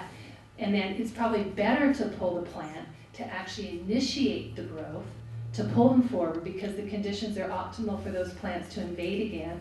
And you have to do that continuously, rigorously for a period of time, and it will stop because it's a finite number. You have to keep the seeds from coming. And that, you can do that. There's no reason why we have to go to GPs and use that. So I really encourage you, all of you, to tell your friends and really bring the support out because it's our life and our water. So thank you. Hi, I'm Priscilla Jane from Lucas Valley, and um, a very brief statement from the Sierra Club Marin Group. We oppose the use of glyphosate in the watershed. We encourage more extensive use of non-toxic methods to achieve these goals. So that was from, that's my official statement. And personally, I am shocked that, that we're having this conversation. I salute people who have come before me and uh, quoted the various um, issues. And of course, I also recognize that a lot of effort has been made by MMWD. It has not been enough in the right direction, in the smart direction. The- The woman who spoke just a moment ago, uh, there are, it is finite, it can be done, but it's year after year after year, it has to be done. And uh, we also have to find, get to various sources. Uh, And speaking of sources, the seeds are going to continue to blow in from here and there or be tracked in. It's a continual effort, but it's a matter of management, proper management, and eventually it will be under control. We're not gonna get rid of it. It's, it's part of our heritage right now, but we can manage it, and we cannot manage the toxic effects of these chemicals. And to, to trust studies by uh, Monsanto and Monsanto uh, sponsored people is ridiculous. Uh, One example, um, we know that bees are affected by toxics. Monsanto purchased the company that, the, the, that does the most, um, the, the most advanced studies on the effects of bees. So it was, uh, on the uh, toxic effects on bees.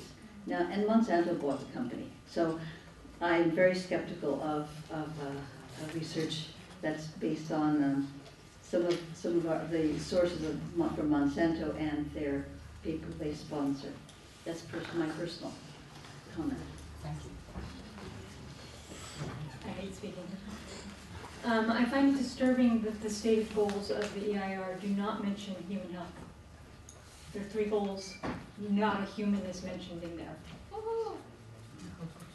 Uh, I think that we need to be concerned both about the water users and the recreational users of the land. Um, I think that potential human health hazards are paramount importance, especially to those most vulnerable, including children, um, and people with extra high sensitivities. I think that we should be using the precautionary principle in terms of use of any kind of chemicals. Um, I'm concerned about the long-term accumulation and concentration of herbicides, even in small amounts. As someone mentioned before, they don't go away. Um, and they do kill the beneficial microorganisms in the soil. Um, I'm also concerned about creating super weeds by the repeated application of pest, of herbicides. I'm, so as you may guess, I'm totally opposed to the use of all herbicides, because I don't think any amount is safe. Um, I'm concerned about the effects on migratory animals. I didn't, from what I've read, which is very brief, um, I didn't see migratory animals, just local animals mentioned. I'm concerned about, um, cancer rates and, uh, the water district's liability. Uh, because, for example, glyphosate, which has been mentioned a number of times, is linked to breast, cancer, and as we all know, Marin County is extremely, high has extremely high rates of breast cancer. Um, I think volunteers should be used more, and I think people should be educated more about the issues, um, with brooms specifically, with fire hazards specifically. I mean, my parents, who also are Marin County residents, think broom is a beautiful plant. Uh, they don't get it. Um, so I think that there needs to be more education about what the problems are. I personally have participated in and seen success both in family land and on public land of, um, controlling broom. Uh, I think that we need an integrated vegetation management, holistic management approach that includes the collecting of flowers and seeds um, off the plants. I mean, some great comments were made about how the plants, uh, how the seeds are dispersed.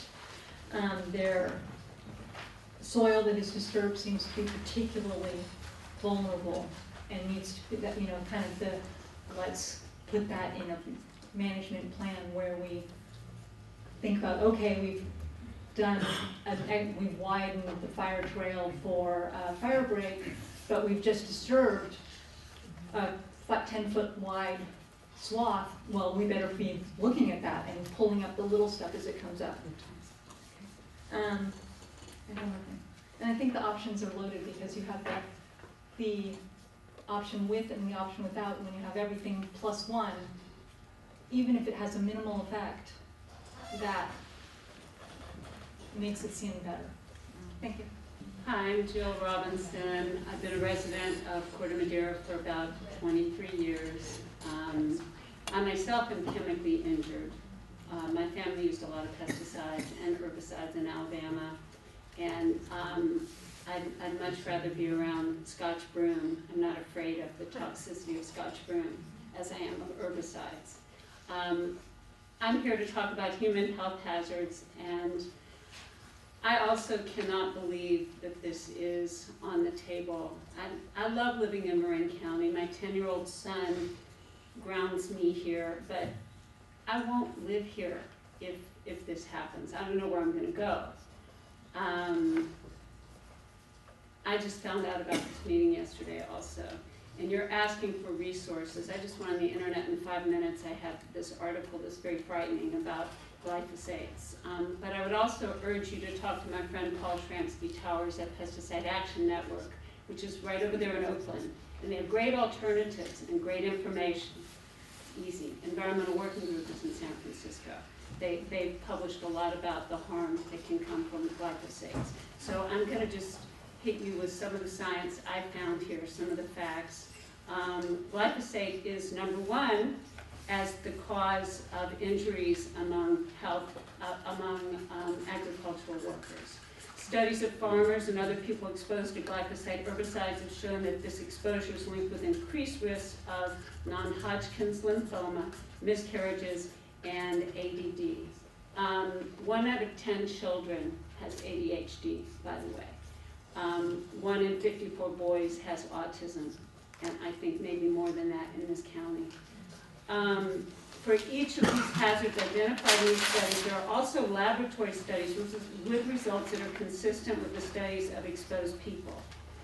Studies of glyphosate contamination of water are limited, but results indicate that it can commonly contaminate streams in both agri agricultural and urban areas. And I'm going to read a little thing about contamination of water. Glyphosate is not included, or it wasn't at the time of this study, and it's a few years old, is not, this paper, not included among the pesticides being studied by the U.S. Geological Survey's National Water Quality Assessment Program. So there are no comprehensive national statistics about contamination of rivers and streams. A regional study, however, indicates glyphosate can be a common contaminant. Um, in a USGS Toxic Substances Hydrology Program survey of Midwest streams, glyphosate was found in over a third of the samples collected. The primary breakdown product of glyphosate was found in over two-thirds of the samples. The study also showed that glyphosate contaminated water from spring through fall and described, described glyphosate in samples taken at Harvest Town as unexpected. Researchers had presumed it would degrade by the, the lake growing system. Use of glyphosate herbicides has also been linked to increased problems with a variety of other plant diseases. So when we're talking about our natives, we should think about that. And one more thing for my friend here who's too shy to come up. Um, the You mid- another few minutes, but you say I was just gonna take a second. Um, you know, we have to get haircuts every six weeks. The schools, the middle schools and high schools are, are desperate to get volunteer programs to get kids out to do this work. Kids can do this work. Uh, Hi there. The number one priority of the Marin Municipal Water District is water quality. If the board adopts the use of toxic herbicides outlined, excuse me, in the draft plan, it will not only betray that priority, it's going to set into motion a scientifically dubious model of species eradication, which is going to be costly to the district and to the health of our community. While MMWD's watershed has been designated as a UNESCO biosphere, that does not mean that it needs to attempt to preserve it as a biological museum.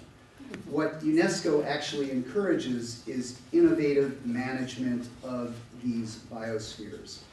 And as we've all seen from the historic photos of Marin, the landscape of our community has changed significantly over the last hundred years, and it's going to continue to change no matter what we do. Broom has been in, in this area for hundred years, and it's a well-established species. And I question the validity of the recommendation for broom elimination by either organic or pesticide use. The draft plan has not surveyed the hundreds of private and public properties surrounding the watershed for infestation of broom and other noxious weeds. The seeds of the broom last for decades and can be carried by wind, rain, and animals. Such transmission does not recognize boundaries and is sure to restart the growth of the unwanted invasive in a short, in a short period of time. By declaring a war on weeds, isn't the district setting an unrealistic goal which will justify the endless expansion and escalation as we've seen with the so-called war on terror? I think what we need to do is concentrate on the things that we know will succeed in managing the problem.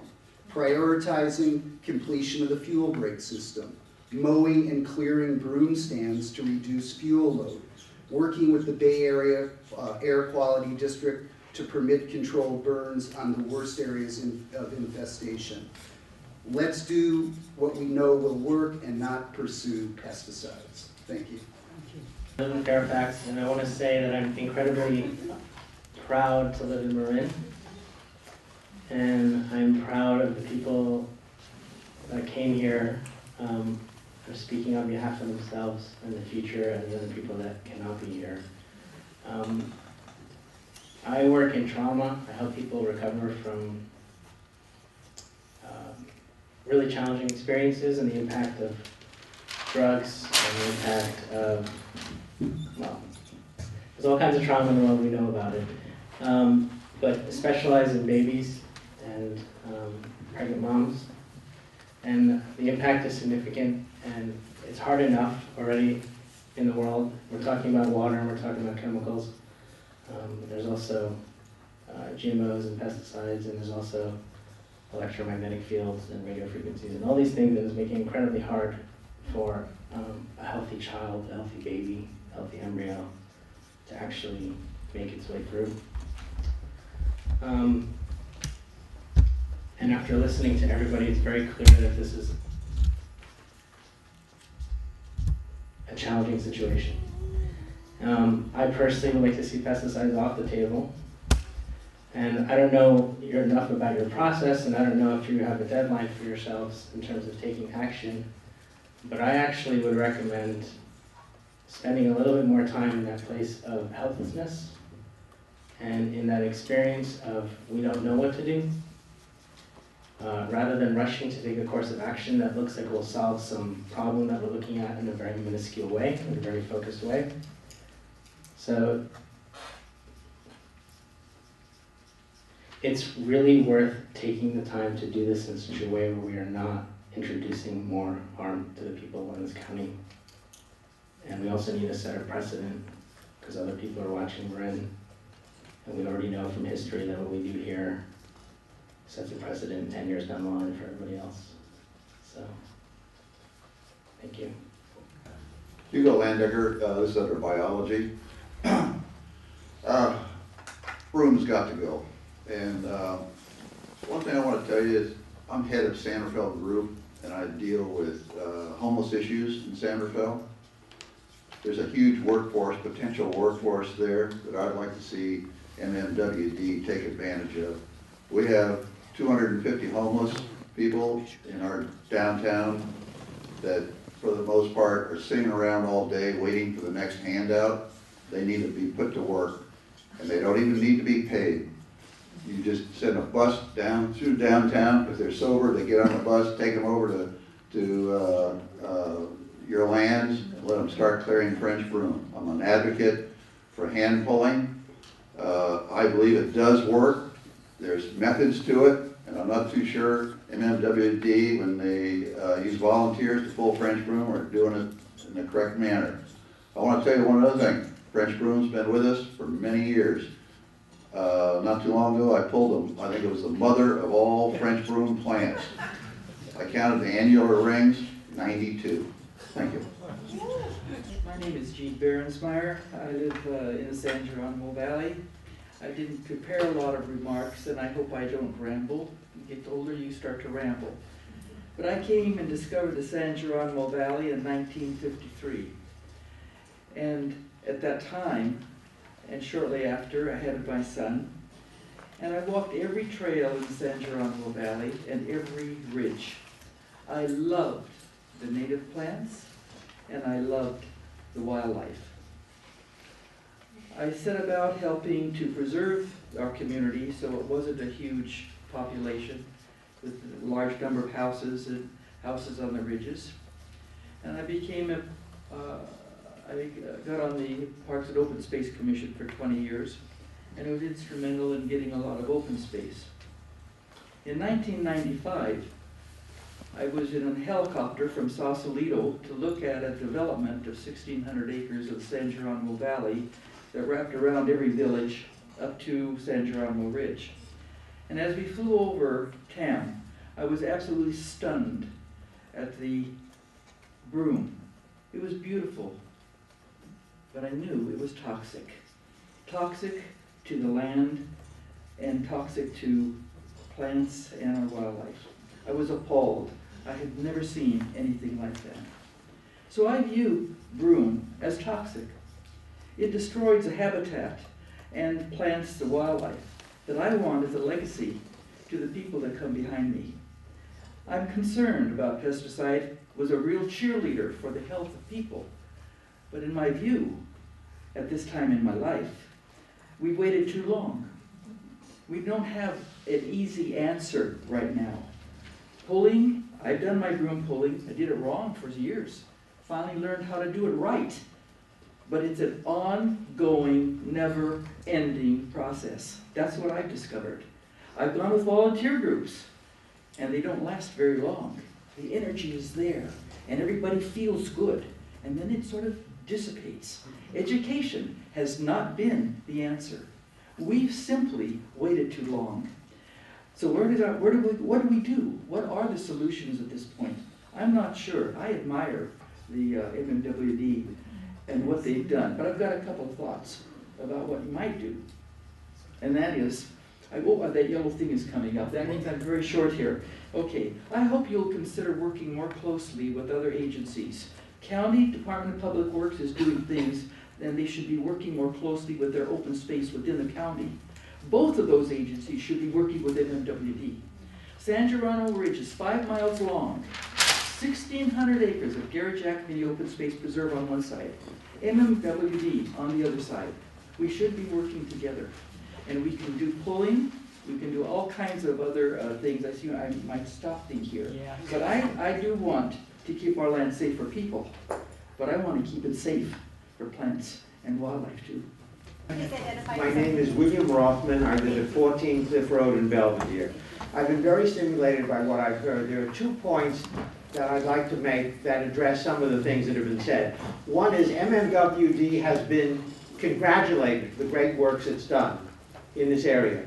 Do you know what percentage of the budget they're spending on vegetation management? You think it's 20% of their budget? Maybe 15%? No, it's 1%. 1% of their budget is being spent on vegetation management. So I love to love people, but I don't think credit should be given where credit is not due. The second thing is for those people who love to hike in the water district, the MMWD commissioned a study by Dr. Wang of UC Davis to find out how long Roundup stayed around on vegetation after it was sprayed. Here's what they found, and Director Russell certainly is aware of this, and Mr. Cronin, etc. I'm sorry, I'm going to be done. No, I'm just saying they're aware of it. So what they found was that it remained on the vegetation where it was sprayed at full strength, exactly the same concentration as the day it was sprayed, the same concentration for 88 days. And then they stopped the testing. We usually think of half-life of pesticides, where half is gone. None was gone after three months. For all we know, it may be 88 weeks instead of 88 days. So when you think about hiking, picnicking, sitting down with your children in the water district, you may very well, if they use glyphosate, you may very well find yourself picnicking on glyphosate. Thank you. On, on behalf of the district, I'd like to thank everybody for coming out tonight. We've heard some great comments that will help us shape the EIR. The comment period is open until November 3rd, uh, or November, December 3rd, I- forgive me, uh, which is about another two weeks or so. Uh, So I encourage all of you who have additional comments that you want to submit to us to do it either in writing or via email. I recognize some of the names this evening from some of you who've already submitted emails, to which I say thank you. Uh, And I think that's it. I think that's a wrap. I don't know, Tom? Just want to especially thank the crowd for maintaining civil discourse. I've been at several meetings in this building with MMWD where it was much different, so I, I appreciate it, and I thank you very much.